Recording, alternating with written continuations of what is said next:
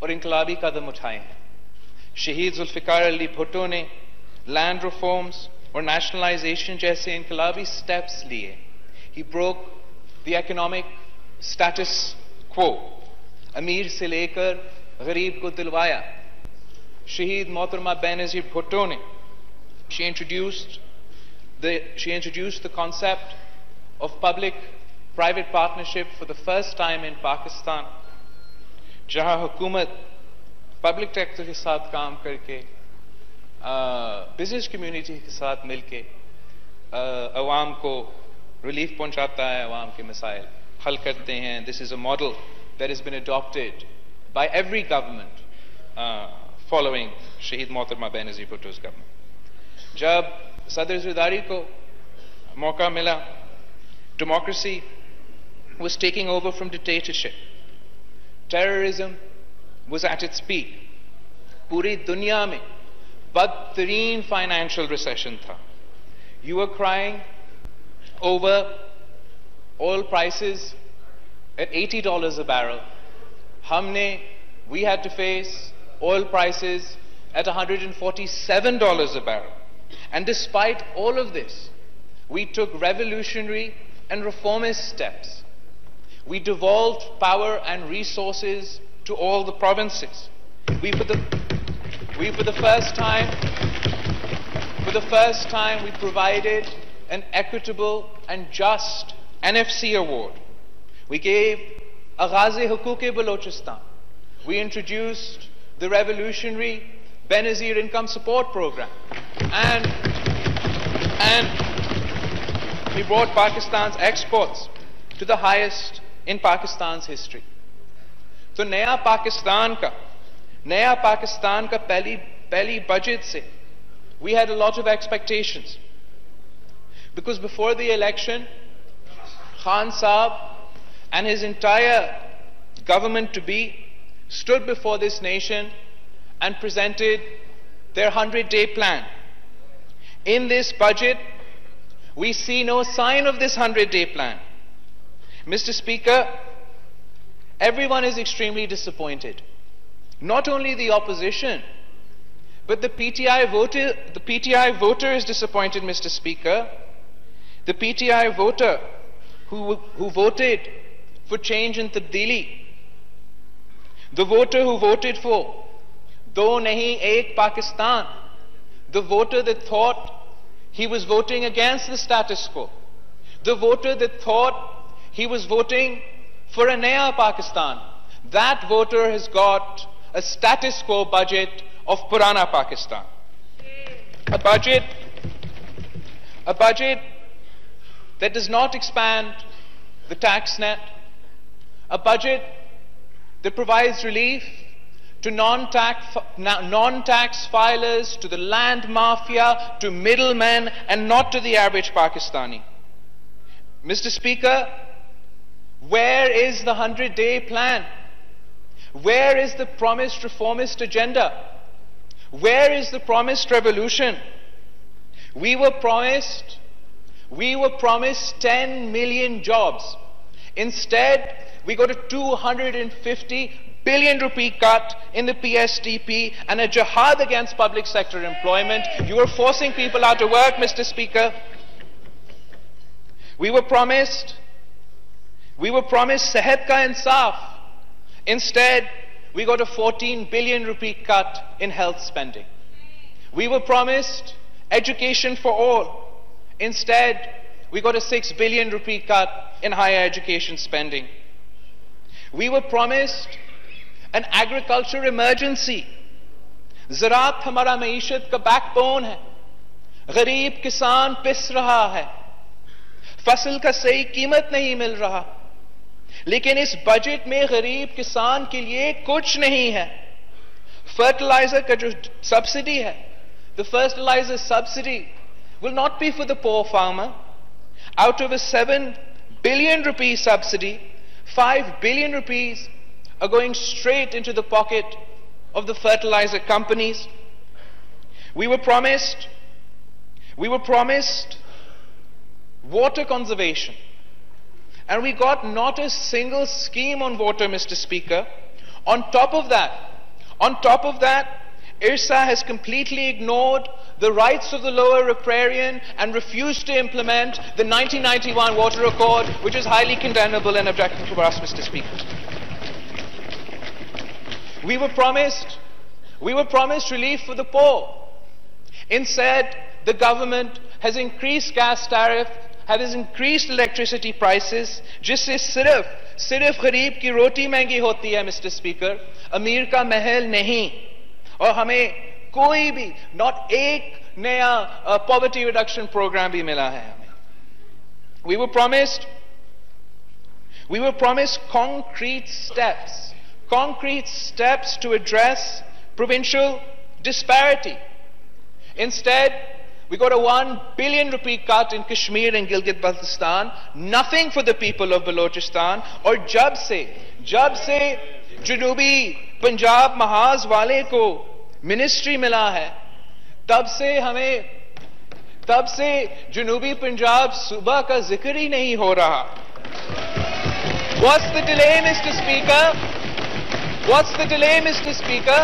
Pakistan Peoples Party کی حکومت نے پورا کام کر دیا ہے Just take our bill, put your signature on it and get it passed. Not only, not only are you not addressing provincial disparity, we hear you plan to undermine the 18th Amendment. Let me be clear, Mr. Speaker, don't you dare. The Pakistan People's Party, the Pakistan People's Party will not allow this government to usurp the rights of the provinces. The Pakistan People's Party will not allow this government to undermine the federation and will not allow this government to undermine the basic principles of the 1973 constitution, come what may. We were told, we were told, Mr. Speaker, that there would be no begging bowl. We were told there would be no loans. We were told there would be no IMF. And look at what we got, Mr. Speaker. The Prime Minister goes to Saudi Arabia on his first trip, begging bowl in hand. Is it not true, Mr. Speaker, that the government is currently negotiating with the IMF? Why the secrecy? Why the lack of transparency? Why the lies? Will, will the finance minister deny that Naya Pakistan is going to Purana IMF? Because I can confirm, Mr. Speaker, that we will be going to the IMF. They will be going to the IMF. Mr. Speaker, this confusion does not end with the IMF. The immature, irresponsible statements that relate to CPEC are absolutely outrageous, and the people of Pakistan deserve clarity from the government, Mr. Speaker. Finally, Janab Speaker, amongst all this confusion that the government has created, does it realize that any corrective, reformative step will be in vain if we do not address the elephant in the room. And that is the issue of the FATF. Will the finance minister bother taking parliament into confidence as to what progress has been made so far? The FATF team will be arriving this month. What steps have the government taken? What steps are we taking to ensure that we do not get added to the blacklist? Does the government even realize the consequences of not complying with the 27 point action plan given by FATF? All flow of money will be restricted and affected. Trading with Pakistan will become even more difficult. Our exports will be affected. Cost of doing business will be drastically affected. The problem, Mr. Speaker, the problem is that this government sees no need to brief Parliament. The lack of transparency screams of lack of accountability. Fraternizing, fraternizing with banned organizations, forming electoral alliances directly affects the image and standing of Pakistan, as does cabinet members secretly, secretly meeting with such people in prisons. This is utterly condemnable, Mr. Speaker. Mr. Speaker, I'm sure my colleagues on the Treasury benches will agree with me that a free press is a fundamental component of a healthy democracy. In fact, Mr. Speaker, the space PTI was given in the media has a lot to do with why they are in government today. I'd like to bring to the attention of the government that the Pakistan Federal Union of Journalists are protesting against the lack of free press and media censorship in Naya Pakistan. We must, we must learn to accept differences of opinion and constructive criticism. When we leave no room for dissent, we leave no room for progress. Will the government, Mr. Speaker, guarantee freedom of expression in Pakistan, freedom of the press in Pakistan, our fundamental rights under a democratic state. Governance is not a one-trick pony, Mr. Speaker. It is a series of thought-out decisions that once made must be implemented. میں یہ حکومت کو بتانا چاہتا ہوں کہ دھرنا دینے میں اور حکومت چلانے میں بہت فرق ہوتا ہے یہ پارلمان ہے کنٹینر نہیں آپ نے آپ آپ نے آپ سیریس سیاست کرنی ہے آپ نے آپ سیریس پالیسی میکنگ کرنی ہے آپ نے آپ مشکل ڈیسیجنز لینے ہیں اور پھر ان فیصلوں پر قائم رہنے ہیں آپ نے یو ٹرن نہیں لینا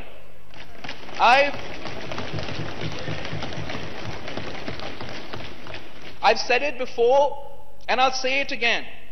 We want to work with the government in greater public interest. We want to see 10 million jobs, 5 million homes. We want to conserve water and boost our agriculture. We want to revitalize our industry and stabilize our economy. We want to provide healthcare for all and education to every Pakistani. Unfortunately, Mr. Speaker, Despite all its tall claims, there is not one line in the finance bill that lives up to the promises made to the people of Pakistan. It is time, it is time that the government learn that this is not a game. Their decisions affect the lives of 200 million Pakistanis. मगर जनाब speaker कौन इस हुकूमत को समझाएगा कि मुल्क ऐसे नहीं चल सकता मीशत चंदा से नहीं سیاست گالی سے نہیں اور ملک جادو سے نہیں چل سکتا۔ آپ سب کا بہت شکریہ۔ احسن اقبال صاحب